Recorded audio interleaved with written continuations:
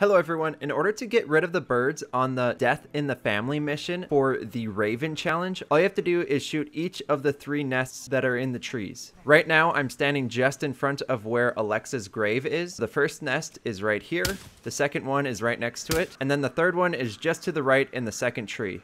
And now that all the birds are gone, you can start the mission with the Undertaker. And that's all there is to it. So if you have any questions at all, please post them in the comment section. Leave a like if you found this to be helpful. Subscribe for more. Thank you for watching, and I'll see you all in the next one.